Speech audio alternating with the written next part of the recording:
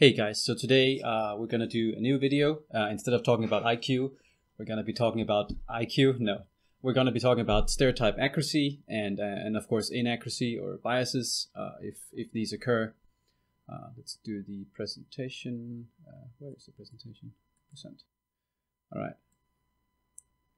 So stereotype accuracy. You can probably not really talk about this without talking about this guy who wrote this book, not the guy on the on the photo. Uh, so Lee Jussim, he's a uh, American Rutgers uh, professor of psychology.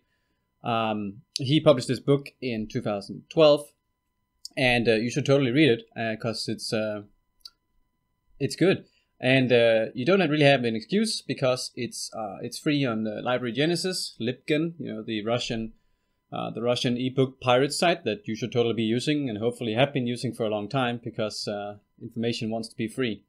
Uh, reading the book doesn't require any advanced stats knowledge because uh, it's kind of dumbed down enough that if you're just a, an average smart person of, say, 110 plus IQ, you can probably read it. Um, the author is entertaining on Twitter, so he likes to troll and, and so on. You can go uh, look him do that uh, or uh, read him do that. And um, also, reading the book actually wants to get you involved. And uh, N1 here is that I read the book and I was like, hey, this is some good stuff. I happen to have some good data sets for doing stereotype accuracy research, so let me go do some studies. Um, and uh, yeah, it's fun book. Uh, curious thing about this book is that uh, you know if you write a book in science and then like five years later it's usually become sort of outdated because uh, some things you you thought to be true or have now been debunked, and so it's it's outdated. It's in fact for this book, it's kind of the opposite. Um, it's become more correct since, uh, so to say, since it uh, since it was published, because uh, after 2012 we had the whole replication crisis thing, and the replication crisis uh, mainly struck down a bunch of uh, social psychology stuff that they like and that uh, uh, he's critical about, like stereotype threat, it's self fulfilling prophecies, and some of this other stuff. Uh, it's probably going to fall more because uh, a lot of this stuff was really built on extremely p-hacked sand. Um, and uh, turns out the stereotype accuracy stuff wasn't. Uh, you can probably figure it out why. It's because uh, stereotype accuracy stuff is uh, not very woke, so it faces uh, a lot of peer review criticism. Basically, if you submit a paper with stereotype accuracy stuff, they're gonna the reviewers will always hate you, and so it's very difficult to get published. Um, so the ones studies that did get published, they were probably uh, creme de la creme, or you know, very good for for social psychology at least.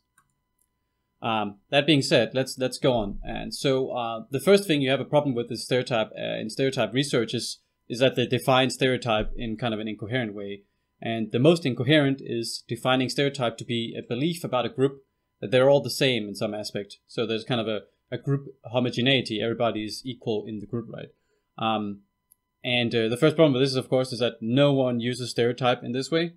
Um, and so, for instance, if we find that uh, someone says men are taller than women, you'd have to be very stupid to think that this means that someone is claiming that all men are taller than all women, or the tallest man is taller than the, or the shortest man is taller than the, the tallest woman you can find.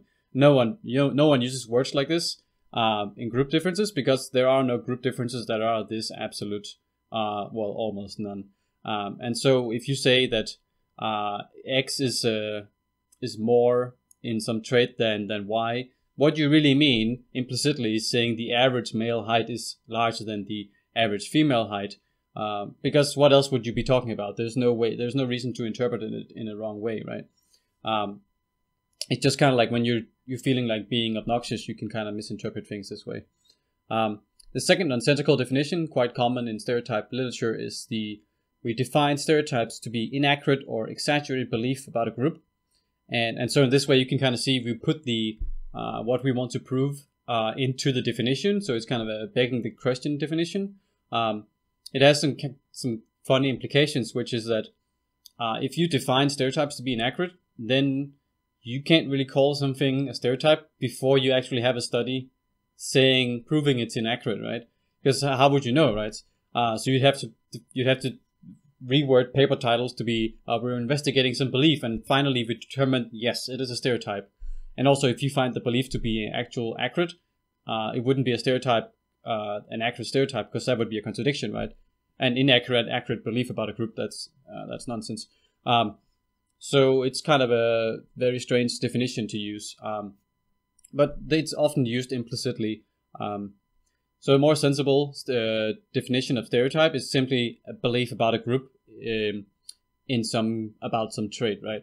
Or it can be about group differences, but usually about a group, right? So uh, stereotype about uh, blacks being criminal or uh, men being tall. It doesn't say that all blacks are criminal or all men are tall. We obviously, of course, know that's not the case, right? Uh, it just says that they're uh, high uh, according to whatever reference group we have. If it's uh, if it's human average, then men, of course, are taller because the only other kind of human we have is women, right? Um, blacks you can compare to whatever other group you have in society, Indians or something, right?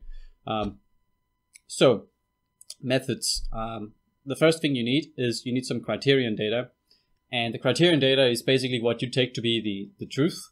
At least uh, that's how your methods work. Um, so it's it's assumed to be very accurate. Um, if it's obviously since we're not uh, gods here, we don't really know the absolute truth. However, we have stuff like census data or register data or a large meta-analysis uh, that you could maybe assume to be correct. Maybe if you're feeling brave. Um, these you basically take for granted, and then you compare the group, uh, the estimates of the stereotype stuff against this reference. Um, and so what you do is that uh, once you figured out the stuff that people are supposed to rate, um, you you just basically survey some people, and uh, you can kind of there's usually two ways to do this. You can first, if you're a professor, you can demand free labor from your students and give them magic points of GPA, and then students will, oh, you know, um, in magic grades, and then they're, they're gonna work for you and give you some ratings. Um, the second option is you pay some people online to do that. And so the real the real distinction is here is that do you want psychology to be the study of introduction students in psychology, or do you want psychology to be the study of uh, people who answer surveys for low pay on the internet? You can kind of take your choice of which you think is uh, is the group that will most likely uh, generalize to the wider society. Um, when you do a group uh, or a study, you you have um, you have the choice to do a, a wide study or a, a long study, so we say a tall study. And so the width is, is the number of groups you're, you're estimating uh, stuff of, and the height uh, is the number of characteristics. And so if we do men and women, there's only two groups. Um, and then you can compare them on a bunch of different characteristics, and you can have people answer how large they think the gender difference is on people who work in uh, in the fashion industry or people who work in as plumbers or, or people who work on something else, right? Or height or something. Um, you can also do the other way around. You can have a ton of groups, say uh, race groups or immigrant groups by country of origin, or people who like this or that animal, or people whose favorite color is X, Y, Z, and so on, right? Uh, I'm sure some people think that uh, have some stereotypes about people who like the color black, for, for instance, I would expect people who like the color black to be more depressed, um, and probably people who like pink are more girly, uh, blue are probably more male, and so on, right? Um, and so published studies on this question, they're usually either tall or white, uh, but not both, because if you had, say, 10 groups and you asked people to rate uh, on 10 different things, you'd get 100 ratings, right? 10 times 10. Uh, so that would probably take a long time. So you'd have to pay them more and you'd have to make do with um, with the survey uh, tiredness or something. Uh, one option, of course, is here is that you could uh, assign people random stuff to random combinations to uh, to rate. In which case, um, they wouldn't each person wouldn't be rating the full set of stuff you're interested in, and so you would get a, uh, a designed missing data study. I, I, haven't seen it yet for stereotype accuracy, but it could totally be done. Um, the the things you ask people to rate are usually uh, group means if you're asking them to uh, to estimate groups per se. But you could also just uh, if you only have two groups you can ask people to rate the difference right? Uh, there's no need to rate two means if all you're interested in is, is how large the mean difference is.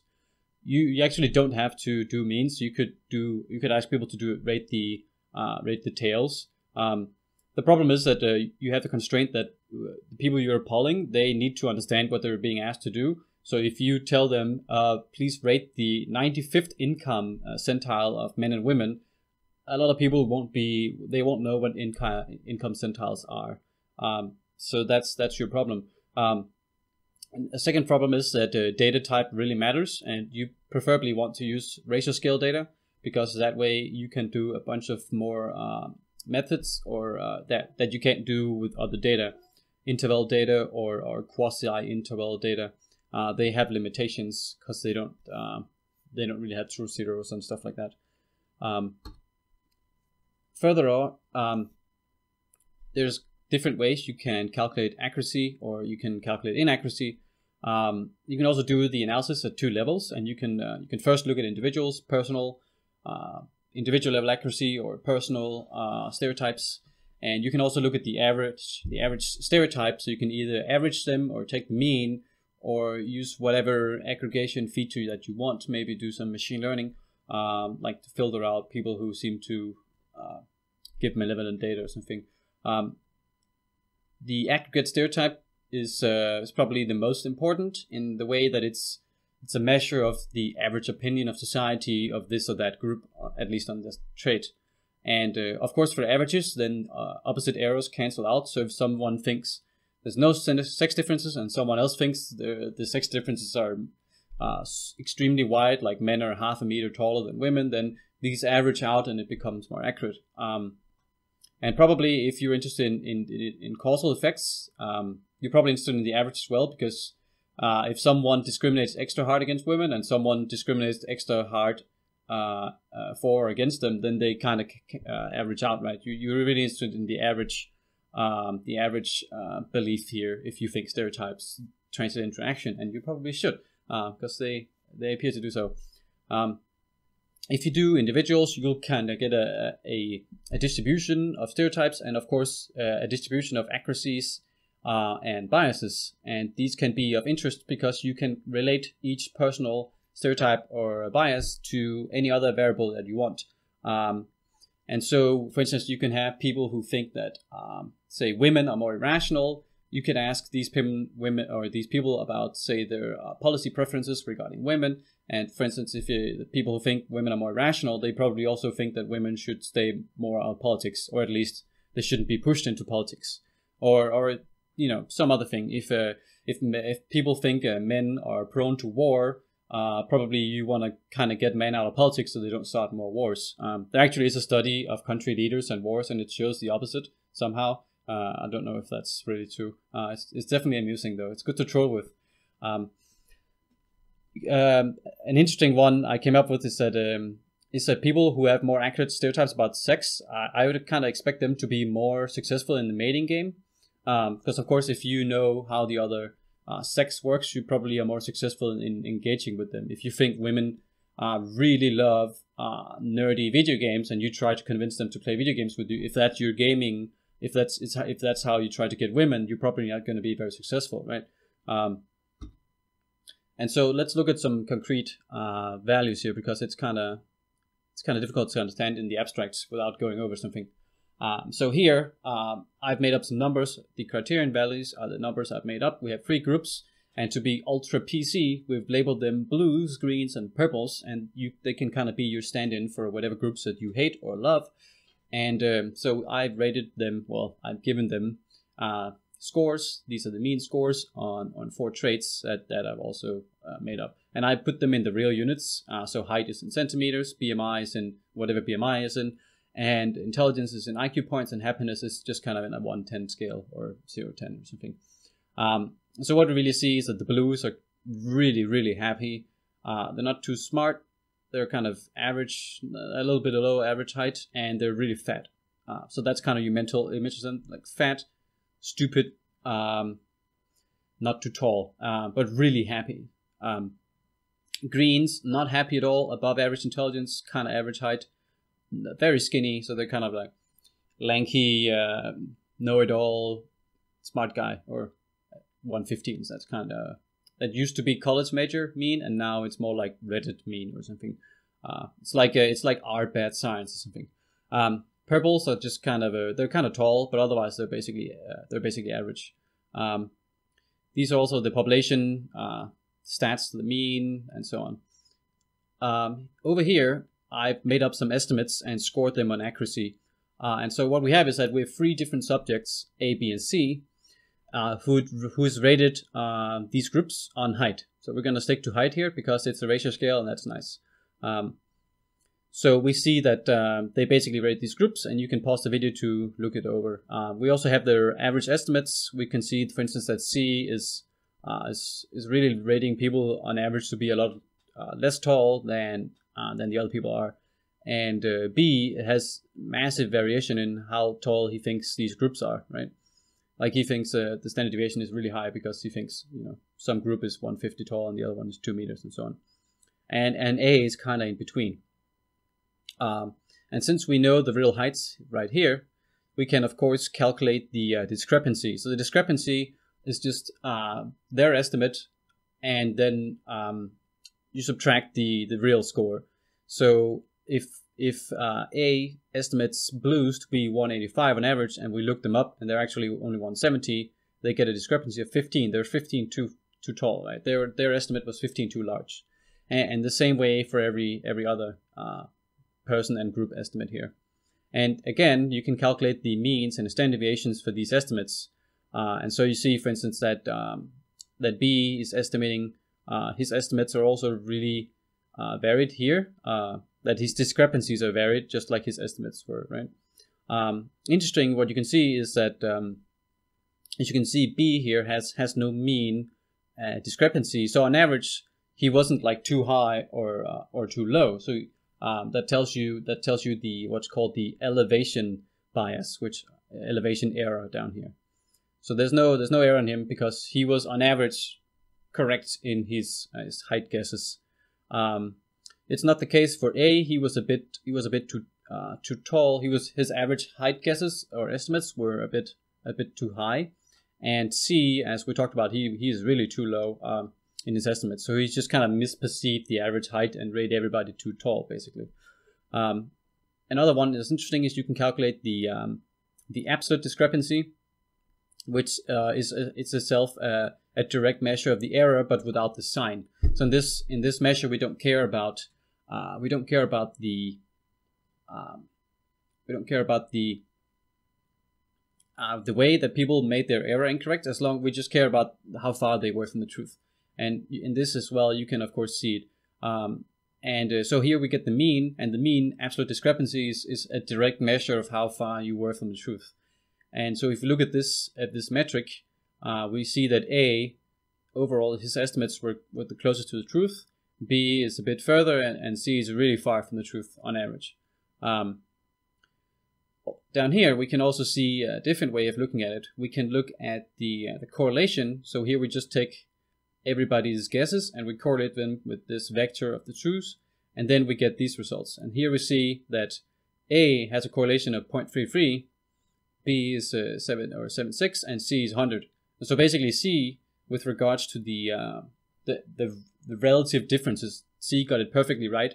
Uh, and uh, if we can convince ourselves that this is true, if we go back to C's estimates, we see that uh, he said 150 155 and 160. So he thinks there's equal differences between them, and they come in the order blue, uh, green, and purple. And of course, if we look at the the, the values over here, um, that's basically true.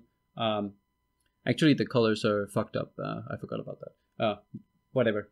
We're gonna be pretending that blue is purple. So, so we see that though C, uh, he's rating everybody far too low. He got the the the relative difference is correct, and that's why his correlation is one. Uh, on the other hand, if we look at uh, A, uh, he, he got the smallest mean error, but actually his correlation is not very good, and that's because he didn't kind of get, he only got the um, the real differences somewhat correctly. Uh, he got that the purple uh, one is the tallest, and so that's true. Um, but then he thinks the blues are, are quite tall, and they're not. So on average, um, he's not particularly accurate. Um, he's kind of middling accurate uh, and B is in between. Um, interesting thing about B is that um, you can look at his estimates and we see that they have a really high standard deviation, so they vary a lot. He thinks the group differences are really large. And however, we, if we look at the, the, the standard deviation over here, uh, we see that the true standard deviation is 10. And so if we subtract those, um, we get the value of 20. and um, so that's uh, he was really way too uh, dispersed in his guesses uh, than he should be. Um, oh, sorry, these are discrepancies. So if you calculate, yeah, the the difference um, between this one and this one, you'll see that he was really overestimating differences between groups, whereas the other two people were uh, slightly underestimating the real differences. Um, so this this value for a given person tells you uh, how much they overestimate them in groups, if it's if they think it's too much or too little, and the mean tells you how far they are on the the y-axis, the kind of overall scale. The R tells you whether they get the average rank order or the relative difference is correct. Um, this to say, uh, so that's basically how you do stuff. And uh, this, these you can only do with the ratio scale. Uh, so if we go here, let's say you have a different scale, uh, you have some traits that doesn't have an inherent ratio scale, or asking about the ratio scale is too complicated for people. Uh, maybe if you're asking people to rate countries by uh, GDP per capita in in international dollars, then many people they won't really have an intuitive sense of, of how to do, uh, what these uh, how these scales work. They they wouldn't know that, that uh, Denmark is is forty five thousand or something, and US is fifty, Norway is seventy. I, I don't I don't really know what the numbers are, but it's going to be something close to that. But maybe a normal person would think that maybe the value is hundred thousand or ten thousand or something. So they they would be very different. Uh, so they would all get massive elevation biases, and that could probably distort your data. Anyway, in this case, I took the same data we were already familiar with, the height data, and I've converted all the data here to uh, z-scales. Uh, simply how to do that is you just um, you just subtract the mean and divide by the standard deviation. And when you do this, then all the data gets a mean of uh, zero and a standard deviation of one. And so they're now all on the same scale. And you can see that uh, the differences we had before, uh, the blues are not tall, the purples are tall, and the greens are in between. This it happens to be that this translates into uh, minus 1, 0, and, and 1 in standard deviation units. Uh, and so I've done the same thing for people's uh, estimates over here. And uh, so now we can see the C is perfect because in his uh, his own uh, z score, he's, he's in his own z scale units, he estimates blues to be minus 1, 0, uh, and 1. And these are exactly the same as the truth. And so now he gets discrepancies of exact 0. Um, and so, of course, the mean is also zero. But you see the same problem. If we look at, uh, let's say, the estimates of B, now that his stuff has been z scaled, his, his mean and his standard deviation of estimates is also 1 and 0. And the same is true for A, right? Everybody's, uh, that's what that's what standardizing the, the numbers do, right? And so you see that on our accuracy metrics, um, the mean um, is now is always zero. You can't get the mean off if you're using a metric where you've removed the mean, right? Uh, that that makes sense. Uh, and you can't get the dispersion wrong because you've also set the dispersion to one, and it's one by definition. In so basically these these uh, elevation and dispersion errors, they're not there. You can't calculate this kind of accuracy if you don't use ratio data. So that's the trade-off, right? If you use traits where people can't use radio, da- radio ratio scale data, not radio data, although that would be interesting uh, ratio scale data, then you can only kind of use these correlation metrics. Uh, so you gotta you gotta think about that when you decide uh, design the study. So so what is what is accurate and what is is not accurate? Uh, in in uh, social science, uh, we have a lot of these schemes where you can look up some effect size and you can kind of look up an interpret- interpretation guide and you can see is this is this considered to be a strong effect or a weak effect. And uh, Lee, he just tells us, uh, Lee is Justin, right?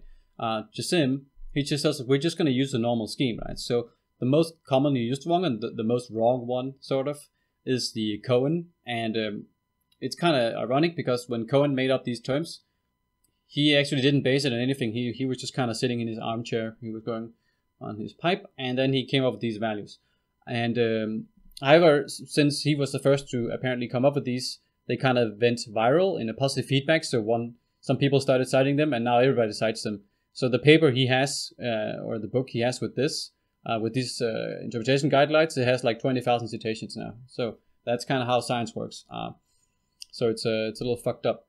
And um, of course, since uh, there's a lot of jealous people in science, they all they all look at his twenty thousand citations and they want to say, hmm, how can I also get twenty thousand citations? And so what they do is that they publish uh, revisions of his guidelines, and so now they're hoping that people will cite them instead of instead of Cohen. Um, so so there's like ten different uh, papers that all have calculated kind of what is an average effect size for some given field or some kind of study, um, this sort of thing. Uh, one of them here um, is by Gignac, I think it's French name, even though he is Australian or maybe New Zealander.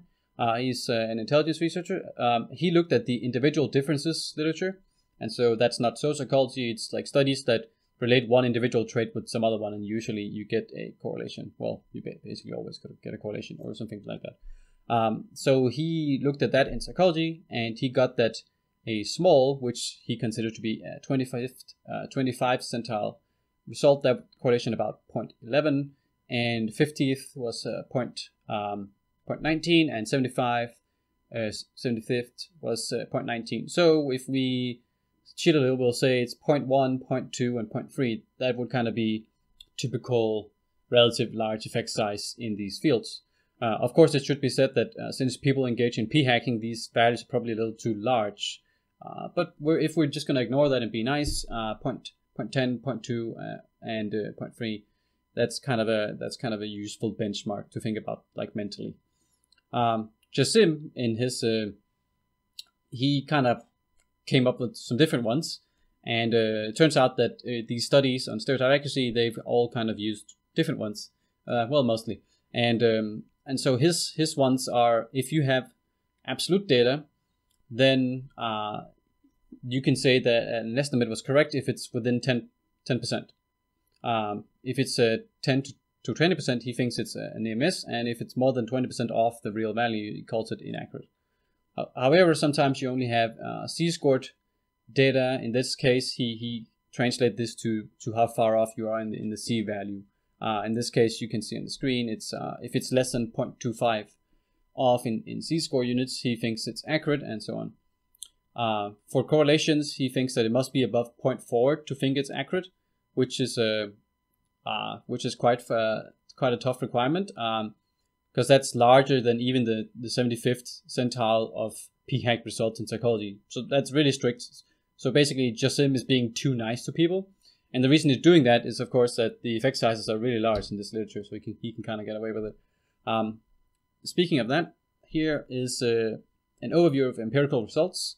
Um, it's very helpful that Lee he, he likes to publish a new one of these every three years, uh, citing the same studies, but you know in a new way, uh, more or less. Because there's not many people who do studies in this, so like updating the meta-analysis involves adding two new studies or something like that and then basically harassing the latest uh, rounds of sociologists to ignore this data. So he's gonna he cites them and say, "Hey guys, you're ignoring the data," and then they keep ignoring it, and then three years later he can cite some new people who also ignored it, and so on. Right? That's how it works. Uh, so, however, we're gonna use the new one, which is uh, this one, which I don't think has been published, but it's on well, not in a journal, but it's on it's on PsyArXiv and um, PsycHive. I don't know how to say it. Um, and uh, it's the newest one I could find. Um, if you look at his studies, he comes out with kind of a crude meta-analysis, kind of taking the median, something like this. Uh, you get a race ethnicity uh, median accuracy or mean accuracy across these studies, uh, 0.7, which is absurdly high uh, by any kind of social science standard. And if you do it by sex, it's 0.8 or so, which is even higher. Um, if you look at uh, mean and in median individual accuracy, it's about 0.55 for race and 0.45 for sex. So as you can see, these, these values are absurdly large by average effect sizes in, in psychology.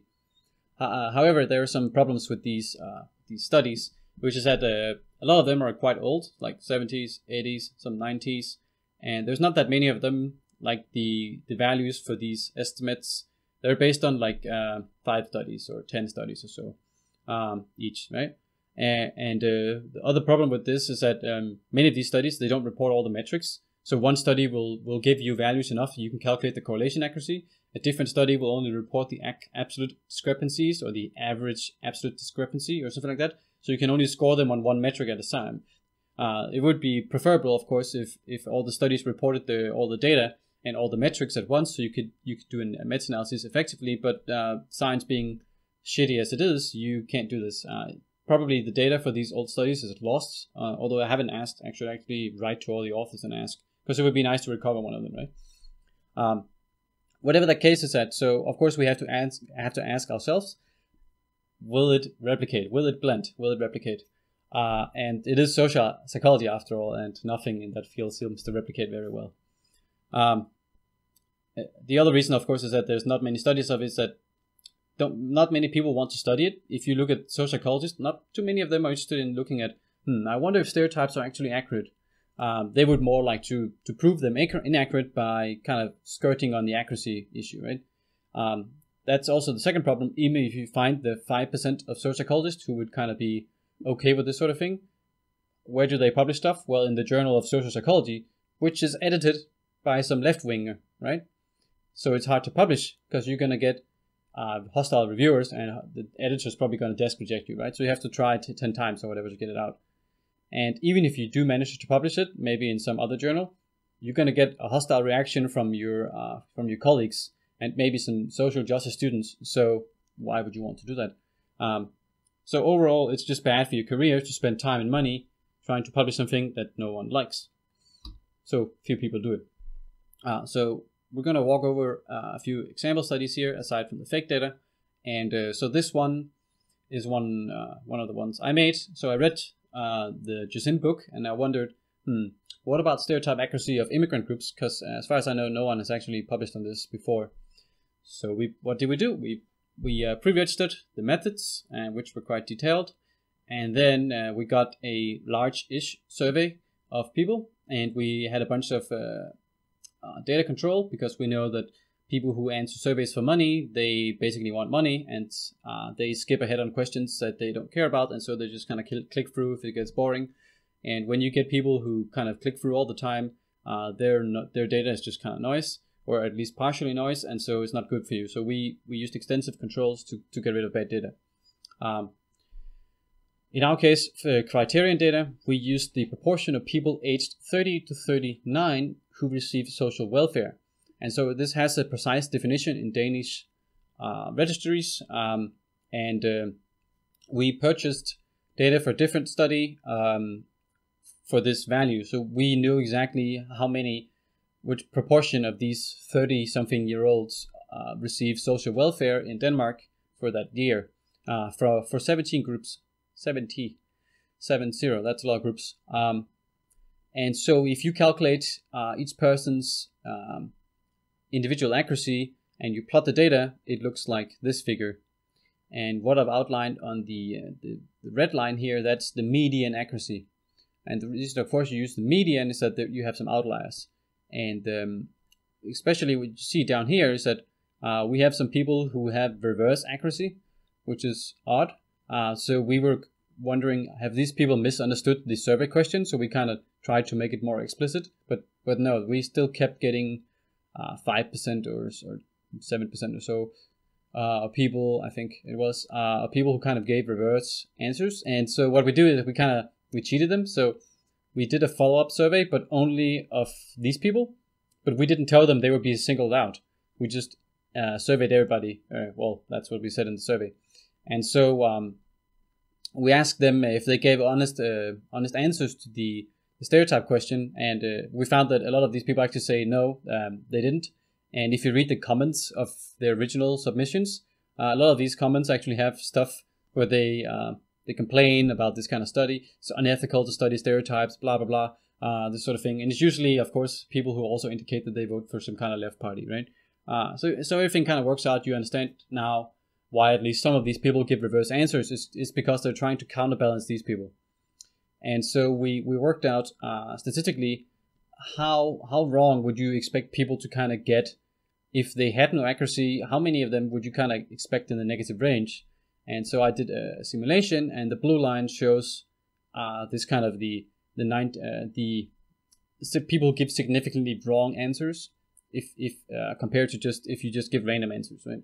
And so everybody on this the other side of this blue line, they correspond to people who who seem to have either misunderstood the question or like deliberately trying to give you opposite answers, which uh, seems to correspond well with this kind of cluster of uh, people. So that was interesting. Um, if you look at the aggregate accuracies, uh, so this is just the mean. You take for every estimate, you take the mean. Uh, you may think shouldn't you take the median to get rid of the other people, or maybe take uh, some other kind of aggregate function? And we tried these, and it turns out it doesn't make a lot of difference, and we just they actually using the mean works the best because um, apparently it's more efficient. Uh, that's what statisticians mean about efficient in some ways. Anyway, so we, since we have 70 countries, we have them here on this plot, and I've labeled the countries. Um, so these are these are immigrant groups in Denmark, um, and how much they receive on welfare stuff is on the x-axis, and the mean estimate is, is on the y-axis, right? And what we see is that um, there's a bunch of countries that basically don't use uh, too much welfare. These are all clustered in the the left bottom. Um, these are called basically all the Western immigrants and some of the uh, non-Western ones, uh, depending on which country. Uh, like Nigerians in this case, you can see they're actually also doing quite well in Denmark, not just UK uh, or US. Uh, so the lead Nigerian is real. Uh, however, we see that there's a bunch of Muslim countries um, that don't do well, like Somalia, um, Afghanistan, Lebanon, actually uh, Syria here. Um, this data is from 2012, so that's before the recent wave, and I don't recall if that's before the recent uh, civil war, but it may be, or maybe it's kind of on the, the, initial part of it. It, doesn't really matter in this case because most of these people are from uh, who immigrated to Denmark way before uh, the recent Syrian war. Um, so they're not really just people who came as refugees during that war and haven't settled in Denmark yet. There are people who've been there for a while. In any case, you can see that the average stereotype uh, correlates 0.7 with the with the actual welfare use. And if you go back to uh, to Sim's results, we see that the race uh, ethnicity, the meta-analysis he had was 0.7. So in fact, our replication based on large sample got exactly the same value that he estimated should be the case, even though we kind of used new group and we aren't exactly studying race ethnicity, although we're kind of doing it indirectly. Um, so that's kind of interesting uh, and impressive. Um, second, if you had this plot, here I'm plotting how many people you kind of need to aggregate to get the full accuracy of your stereotype. And um, so this line is, is made by uh, by picking, at people at random, uh, say picking one person at random and picking a different person and so on, and calculating the average accuracy you get this way uh, by just resampling it. And if you do this a lot of times, you get you get an average and you can plot this. And you can see this diminishing returns, Spearman prophecy law sort of situation where as long as you pull like 30 people or so, you kind of don't need many more for your study because you really hit the point of diminishing returns. Uh, since we know the, the value after uh, 400, almost 500 people is about 70, if you do 100, you're very close uh, to that value. You were at like 68 or something like that, maybe more. Um, 69 probably. So you don't really need to pull that many people to estimate stereotype actually at the group level. Uh, you just need to pull 100 or so. It's probably fine. So we went further. Um, in this case, on the left side, we're looking at the absolute delta of the aggregate stereotypes and uh, and the population size of Denmark. So on the left axis, or not left, the x-axis, you see the population size of of immigrant groups in Denmark on a log 10 scale. And so uh, this is how many zeros kind of you need to add um, and so we see, for instance, a group like Turkey is the largest one in Denmark, uh, has a bunch of people. Uh, I guess this number means they have about uh, 100,000, a bit less than 100,000 people. And um, something like Tanzania, there's only a, there's not even 1,000 people in Denmark. Uh, and so what we're interested in is that if people base their uh, their stereotypes on people they meet in their own daily life, then you'd expect uh, the stereotypes to be more accurate for large immigrant groups because if it's larger, then you have a higher chance of knowing someone who's from Turkey or from Tanz- Tanzania or from Lebanon or Kuwait. Uh, however, uh, when we compare the absolute delta, um, the absolute discrepancy, that's the absolute delta, to the population size, we, we find nothing, right? The correlation is extremely small and not, uh, not significant at all. Um, there's only 69 groups here because uh, Denmark isn't an immigrant group and it would be over here if you included it, and so it really just screws up the results. Um, if you do add it though, you don't really find anything either. Uh, so that that that hypothesis was not confirmed; uh, it was uh, discarded. The second one we tested here is the mean estimation error and the proportion of countries uh, with uh, a lot of Muslims. Uh, and so, if you think that stereotypes are biased against Muslims, you would expect people to, on average, overestimate uh, the amount of Muslims who uh, receive welfare, right? Uh, in fact, we find that the opposite is the case, which is uh, sort of surprising. We find that, uh, on average, people underestimate uh, the Muslim groups by about 10 percent point. So, if the average Muslim group receives um, a typical Muslim group that has close to 100% Muslims in the origin country, right? Uh, if they receive, say, 50% on average welfare, the actual people estimate value, the stereotype is, is about 40. So that, that was very surprising um, and interesting. Um, you can also see that the one they get it really wrong is Kuwait, which of course made us uh, think. And so we looked into that one. Um, if we start with the Kuwait one, so what we did there is that we looked at the uh, the countries that people get wrong, right? And um, so the ones they get uh, quite wrong uh, are uh, Kuwait, and so people think that Kuwait, uh, people from Kuwait, are actually doing quite well. If we go back to the, we think that uh, they are here. So in real life, uh, people from Kuwait are actually over 60% of them in this age group, 30 to 39, are receiving social welfare, which is a lot. And but the average estimate people give is, is 20, right? so they're off by by 40 percent points, right? Which is amazing. So that's that's the 40 down here. Um, they're 40 they're 42 low. Um, and uh, so that makes this and so what's what seems to be the case is that we, we related this to uh, GDP per capita and it seems that people are kind of using GDP per capita as a proxy for stereotypes and so uh, people don't really use uh, stereotypes of people if they know a bunch of people from say Kuwait because probably no one knows them and um, but what they use is kind of they have a kind of mental image about a country. It's like hmm, Kuwait. It's one of the oil countries, so people from there, uh, they grew up with a lot of money, so they probably doing well. Uh, and it turns out that's totally not the case. Uh, and Kuwait is a is a big outlier there. Um, so that was interesting, but that was an, a, a post hoc analysis. It was not something we predicted. Um, and another interesting one is that if again if we look at the uh, the bias for Muslims, instead of calculating this for each uh, aggregate estimate, you can calculate it for each person how uh, how much the, uh, they're off for the Muslims uh, on average, and so you can get a kind of Muslim correlation error. It's how much their uh, residual uh, from their estimates correlates with the um, with the Muslim percent. And so, of course, if you, if you think of um, standard regression theory, you know that residuals are not supposed to be correlated with anything. And so, if they are, they indicate uh, some kind of omitted variable or something. Something is wrong with your model. Um, so we were, of course, interested in is, is, is it whether people who say they're high or low on nationalism, whether they uh, are more wrong about Muslims, because of course the relationship with Muslims is is the primary thing that distinguishes people who say they're nationalistic versus people who say they're not very nationalistic. Um, and so, uh, to what we were expecting to see is that uh, we're, we're kind of expecting kind of a you know smug centrist approach where you have to have some level of nationalism, but if you're an extreme nationalism, you're probably off on the other side of Muslims, right? You're overestimating the one Muslims on benefits.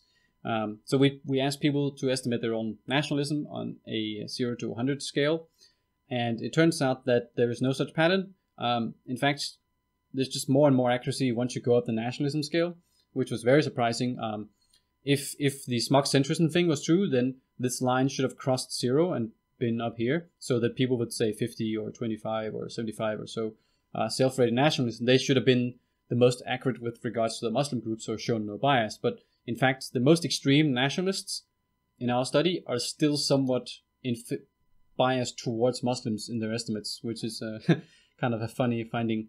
Um, so basically, the message to nationalists out there is that you know keep going, and apparently you're not extreme enough. Um, um, so let's go to different examples. So this study is not mine. Well, it's not entirely mine. Um, there's these people. They did a, a study on um, et al.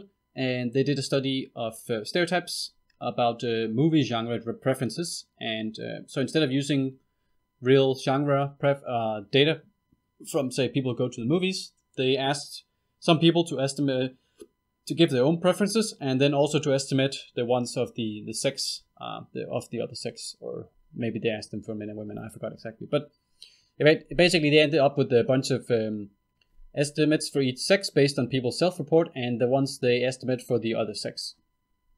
Uh, in their own study, they do a bunch of complicated stuff that no one cares about uh, with the with the ANOVAs and stuff like that. Um, so it's not very vivid the way they presented the data. Um, however, they were good guys, so they gave some tables that had the summary statistics. And of course, if you get the summary statistics, that's all you need to calculate aggregate stereotype accuracy. So behold, I replotted their data, and it looks like this. Um, so now we see that the accuracy is, is stunning, right?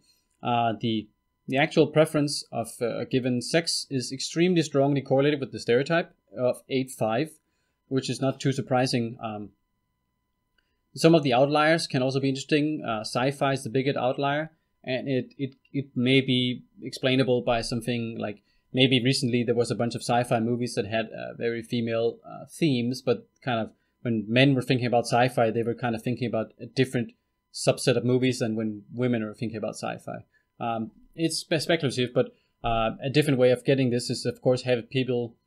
Uh, you can go to IMDb. You can look at rating difference between men and women on a given movie and maybe use that. Uh, it's also problematic because um, you choose to see movies uh, yourself, uh, at least usually, and uh, so people who really don't like romance or romantic comedies, they probably don't rate them they don't watch them and then they don't rate them on IMDb afterwards. So you kind of get a, a self selection into movies for liking them. That being said, it's still that's a different kind of data set to use. Or you could give people a, a list of movies and ask them uh, use this to to uh, gauge people's likingness of uh, of these kind of movie genres, and then get the sex difference from that. Whatever the case, it's it's worth exploring in more detail, but the accuracy here is, is definitely off the charts.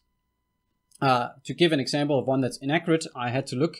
Uh, there's basically two inaccurate ones I could find in the literature. One of them is based on uh, country mm-hmm, personality data. Uh, since I think this data is bunk, so the, I think the criterion data is wrong, um, then I don't think it's very sensible.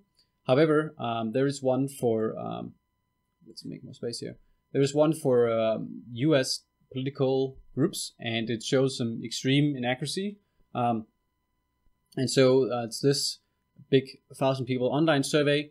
They ask people to do uh, voter demographics for the uh, different parties, and then also uh, people to estimate them, the ones from the different party. And so they ask them, you know, about union members or these uh, QWERTY, uh, liberty, blah blah blah people, black people, atheists, agnostics, and Southerners over 65, very rich and super Christians.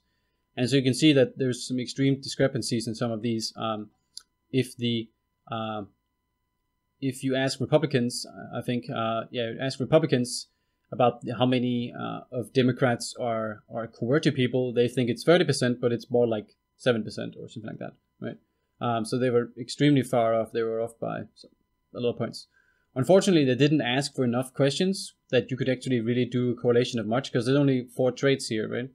Um, but that would be interesting. Um, I would also be very to see if this replicates in other countries. So I shall be see if I can maybe do a study about this in Denmark. Uh, in Denmark, instead of having two parties, we have ten or so parties, and so it would be kind of interesting to see what kind of stereotypes people have about these uh, and how accurate they are. Uh, I think that would be somewhat more accurate, uh, but maybe not. We'll see. So uh, let's get more interesting. So we're going to go into to more philosophy or politics here, and um, what's still keeping it empirical, so to say. Uh, stereotypes and rationality, you kind of have this uh, this rash- Bayesian rationality, and of course, uh, it's mainly based on this Bayes theorem, uh, which is, is shown here for those who are so inclined. Uh, the, but the, the general theory is uh, the general thinking is simple enough. Um, the idea is that whenever you are have some belief and you then get some new evidence uh, to update it with, then your new belief, the posterior, that which comes after, should be based on the new evidence and the prior, whatever the belief and evidence you had before. And this process is called updating. And so the idea is that you start up with some belief, you look at some data, you go like, hmm, this changes my opinion towards X or C or Y or whatever. And so you then you read some different data and you update a little bit more. And eventually you kind of get closer and closer to the truth. Um, it's an iterative process. That's that's that's the theory right? Um, and so stereotypes as we've seen we've defined them in a sensible way that they're beliefs about groups and so if you think that uh, that uh, the greens are really tall, that's that's your expectation. If you don't know anything else about a green, uh, you're gonna expect them to be tall. But of course, you can be you, you can be right or wrong. There's there's a variation within the group, right? Maybe you maybe you find a, an extremely tall green, or you, maybe you find a, a really short green. Who knows? Um, so, but in real life, what this means is that you have some stereotypes about various groups. And so, for instance, if you're avoiding vegans, that's probably because you think vegans are obnoxious. Uh, maybe they're preachy, or maybe they use a bunch of obnoxious arguments that are false from the New York Times, or whatever it is that you you think about vegans. Um, if you're swiping right on well-educated people on Tinder, um, I mean that's probably because you you have some beliefs about people who have long educations. Maybe you think they're smarter, or don't take drugs, or take more drugs. Uh, whatever the case, uh, maybe you just really like money and you want someone who makes more money, right? Um, if you avoid like very religious people, or people say support gun rights or whatever, it's because you have some stereotype, right? So everybody everybody has stereotypes, and uh, as we've seen, they tend to be uh, mostly accurate, or at least get the the average rank order or so correct, and uh, so everybody uses them because it would be stupid not to do them. Um, that's that's really the point. Not using stereotypes is irrational, and that's why everybody does it, right? It's very simple. Um, also, uh, doing this should increase the accuracy. And so, actually, there are some studies where they measure people's stereotypes and then also look at uh, the ones would have more accurate stereotypes, whether they, they seem to use them correctly when presented with new evidence. So they have these like mock trials where you're given some vague description of some person, then you assign your belief uh, probability of whether this person is some other thing, say criminal, and then they give you a bit more information. They see then what's your new belief. They see if you do this updating correctly, right? Do you over update or do you under update? Like, um, so there, um, you have to do this moderately correctly to kind of improve your accuracy. Uh, if you're like erratic in your estimates, you just go go from like zero to 100 percent. Uh, you're probably doing it wrong. And if you read the book um, Super Forecasters by Tetlock, uh, and also his uh, expert political judgment, uh, then you'll see that the people who tend to tend to update often and in small increments, these are the people with the most accurate beliefs. So basically, people who kind of ADHD like sit and up, obsessively follow new evidence. They go like, hmm, this adjust my this new evidence changes my belief from 15% chance to uh, to 20% chance or 17 or something, right? These small incremental changes.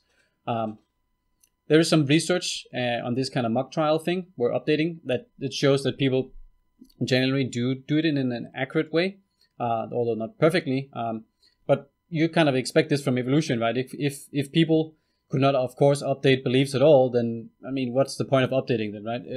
Because uh, survival eventually depends on on getting your beliefs about the world and especially other people correctly. Uh, if you think someone is not likely to kill you and eventually they kill you or they uh, your wife is cheating on you or something, right? Uh, eventually eventually you your fitness becomes lower, and so evolution selects for true belief at least to some extent. Um, and so it'd be very strange if if humans weren't, you know, on average, kind of accurate dealing with groups. Um, these studies, of course, are even smaller and fewer than the other ones, and so they really need pre-registered replications, and so that totally means you should do it. Um, going further, of course, uh, not everybody is happy about this Bayesian rationality seeming to support stereotyping and in, indeed kind of discrimination. Um, and so we have this extremely hilarious paper uh, trying to say that no, no, no, no, this is not the case. And they call it Bayesian racism, which is extremely delicious. Um, and it's from 2010. And um, it turns out that in 2010 years prior, that we have this uh, Tetlock guy who's cool, of course. And uh, he, he talked about, he had this paper about forbidden base rates. And so you can see where it's going. It's like yeah, some stereotypes are basically priors, and priors makes you more accurate, but we as society, at least some people say, there's certain priors thou are not allowed to use. They're forbidden and heretical kind counterfactuals. Uh, and so, for instance, if you look at the law, we're going to shrink me again here. Whoops, that's very small. If we look at the law, we mostly know that uh, we're supposed to be equal for the law. That's the point of blind lady justice here. Um, but also everybody knows no one is exactly equal for the lawyer or for the law. And I mean, for the mundane reason is that if you have a better, better lawyer, then uh, then you get a better representation and less likely to get convicted. Also, if you're smarter, you probably know how to defend your, yourself either. So if we banned lawyers and only let people defend themselves, then still, you know, smarter people or people who studied law, right?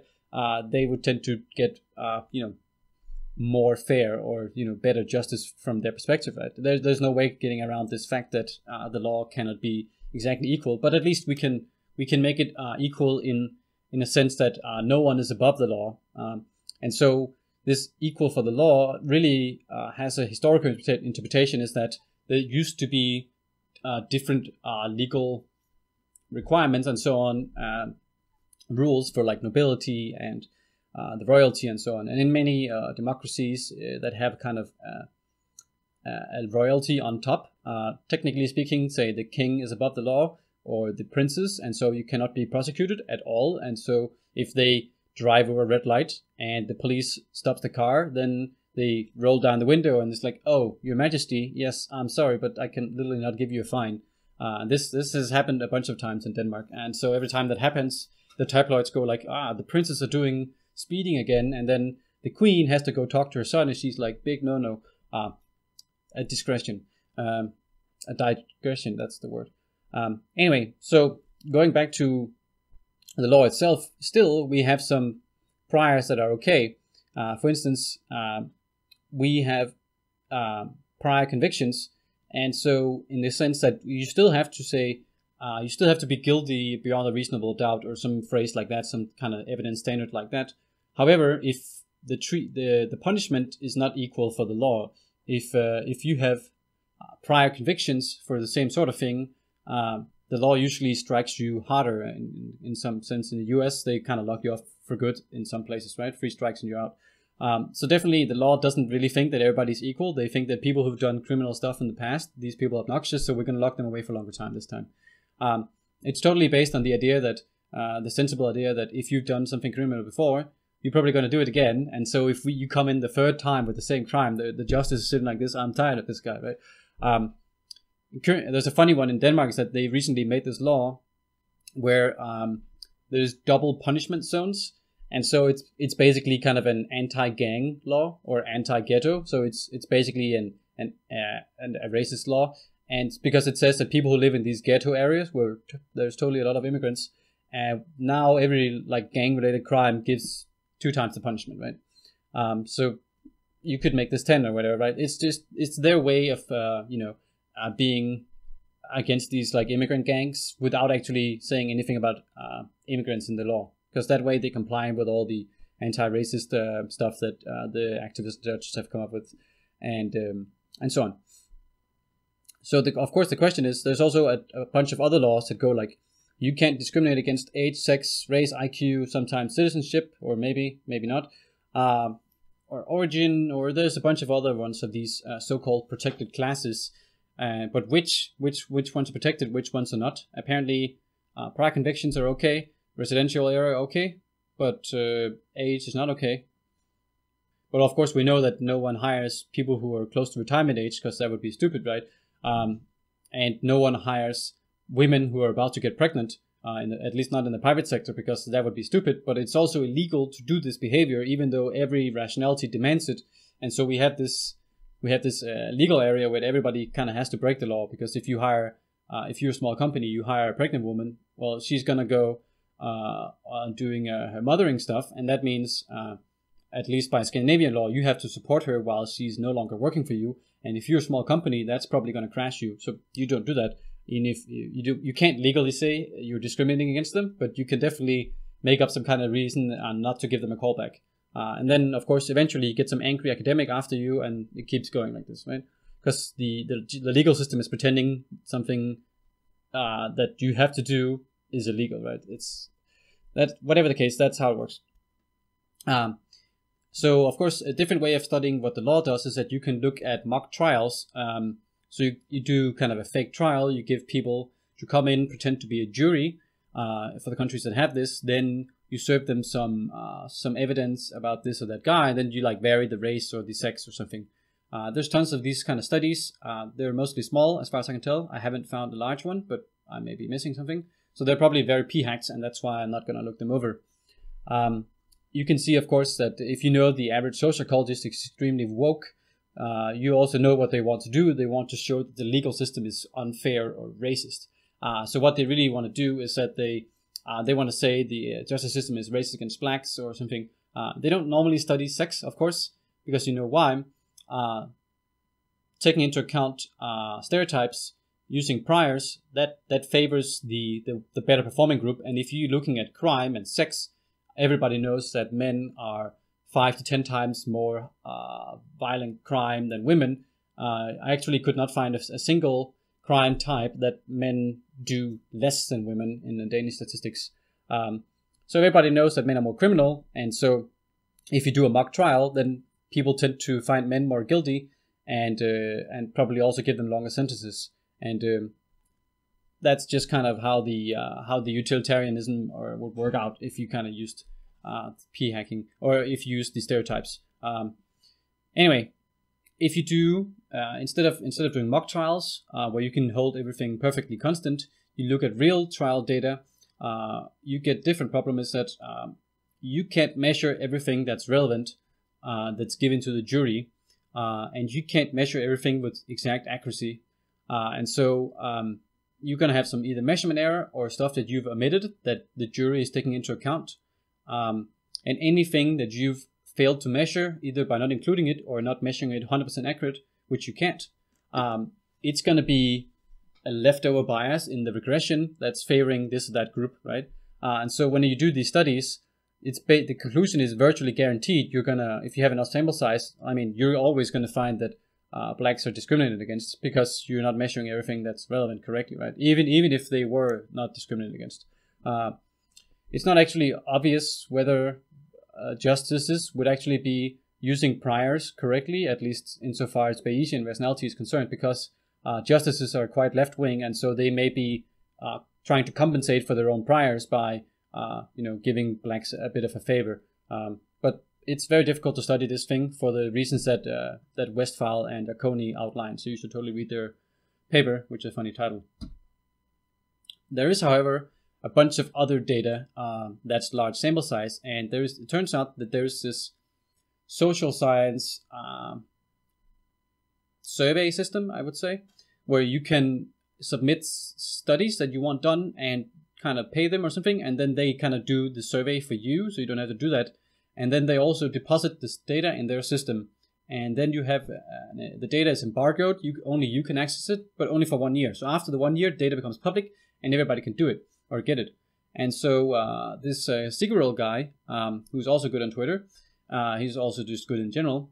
You, he discovered uh, this this service of the data data sets and he looked through all the data, or at least all the recent data, and he found 17 data sets with large samples that do these kind of experiments where people are being forced to choose between one candidate and another, or make some kind of decision where they they varied the race at random. And so, uh, since there's so many studies, there's 10,000 uh, white people in total, and uh, and almost 3,000 or close to 3,000 black people in total. And so um, you can look at people's preferences for whites, like whites when they're judging whites themselves, and when they're judging black people, and black people when they're judging whites and black people. And it turns out that when you do this and do the forest plot, it um, the average estimate of uh, white people is that they show no racial bias, uh, in these studies on average. You can see they kind of vary between studies. Uh, this one uh, favoring white people, this one favoring black people, and so on. And but on average, uh, the white people don't seem to be biased, at least in these uh, 17 experiments with a lot of different uh, black people, however, they were actually consistently somewhat biased towards other black people in the in these surveys.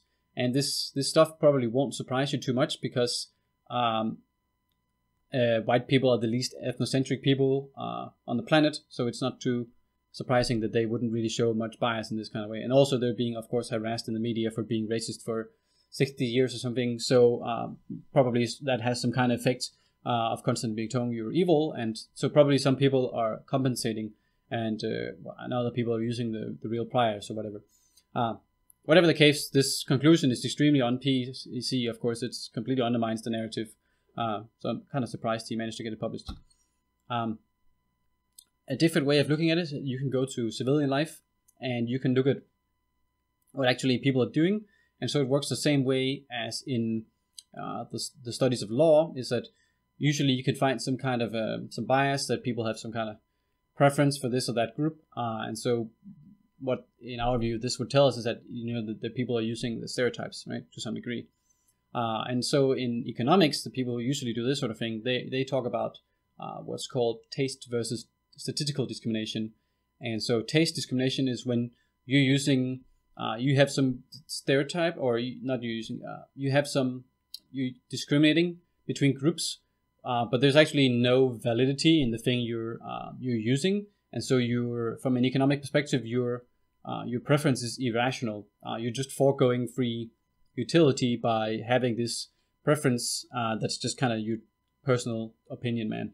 Um, and so, for instance, we could say that let's say you have a company that do phone company like telemarketing, and you just really like redheads for whatever reason, but actually redheads are not better telemarketers than other people, and so you somehow just keep hiring redheads.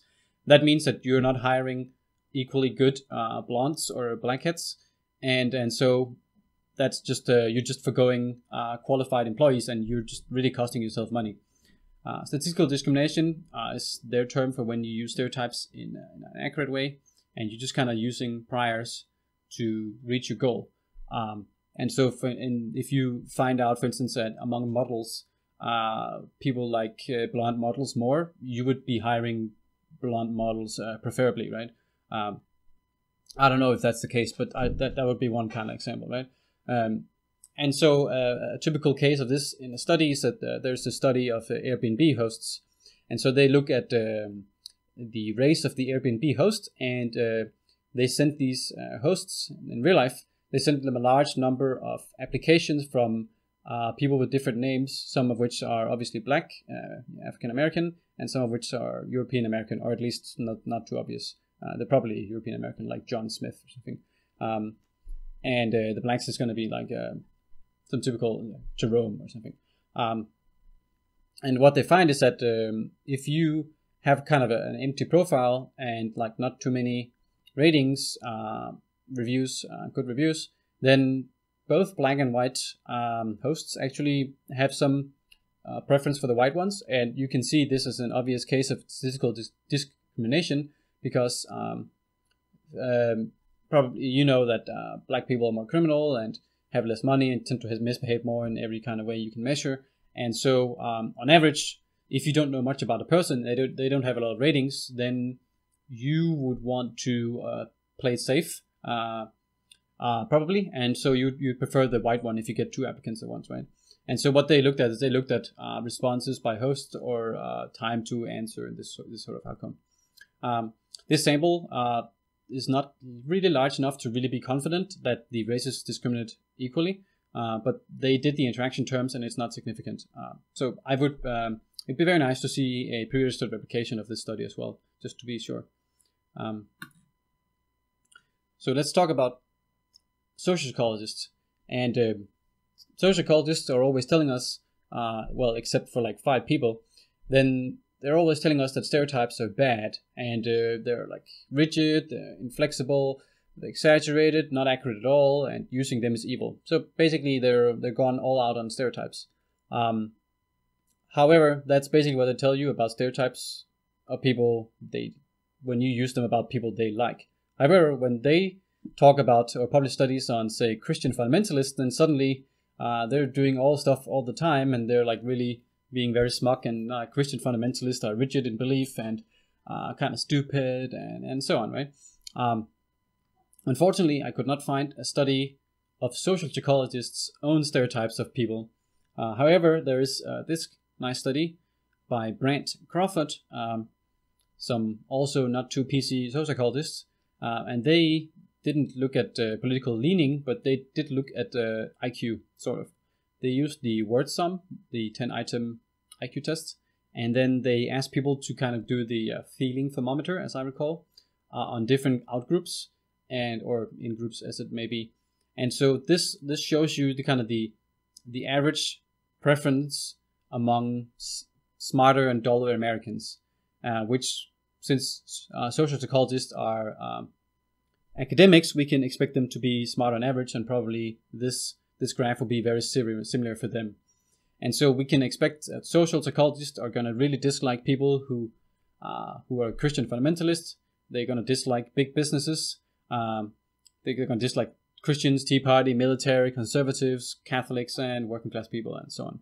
And they're going to really like uh, non-whites, atheists, and QWERTY people, uh, illegal immigrants, and liberals, of course. Um, so you can kind of form a mental image of the typical person, uh, smug leftist, and they're gonna they're gonna fit like this, right?